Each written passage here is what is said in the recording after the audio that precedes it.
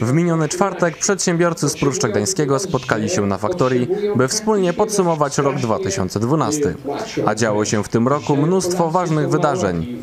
Tak duże jak na przykład Euro 2012, czy całkiem lokalne, ale równie ważne jak oddanie kompleksu sportowo-rekreacyjnego, czy otwarcie tureckiego konsulatu.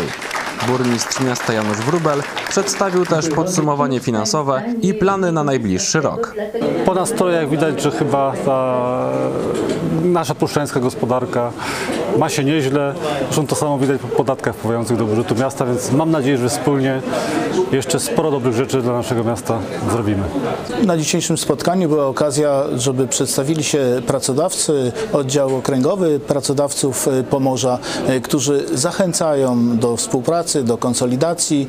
Y, Była też okazja, żeby zapoznać z ofertą ochotniczych chówców pracy, który od ubiegłego roku mieści się w Pruszczu Gdańskim, który szkoli młodzież, który przygotowuje młodzież y, do zawodu i zaprasza pracodawców y, do współpracy. I to było bardzo pozytywne, y, czyli widać, że możemy również liczyć na ochotniczy hufiec, który przy, pr- przygotuje nam pracowników.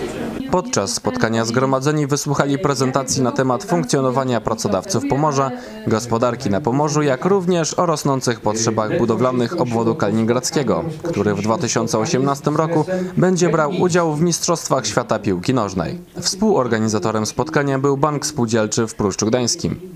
Polecamy również zobaczyć zeszłoroczne spotkanie przedsiębiorców z Pruszcza Gdańskiego oraz Oddajemy szpik w czwóreczce.